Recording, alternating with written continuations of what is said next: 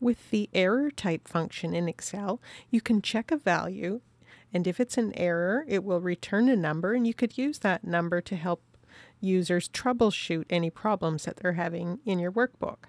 In this first example, we'll just see how error type works. So in this cell, you can see the value error, and in the adjacent cell, there's the error type function. It's checking cell B3, and the result is 3.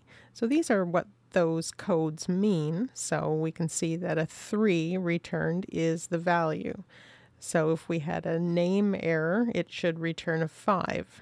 I've just got a drop down list of those errors here. And if there's a name result in this cell, it shows 5 as the error type. Now, this can be a formula result or as I've got here, just text in the cell and it's going to show the result. If I type equals 3 divided by 0, that should give me a division error. And it does. It shows a 2 here, which is divide by 0 error.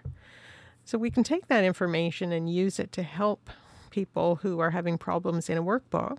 Here we've got two blue cells where people will enter a student's score on a test and what the total overall could be, and from that you get the percentage. Now, if someone enters a zero here, we'd get our division error again. So there's the result in the cell. This cell is just checking to see if there's something in cell C3, and then it's dividing B3 by C3.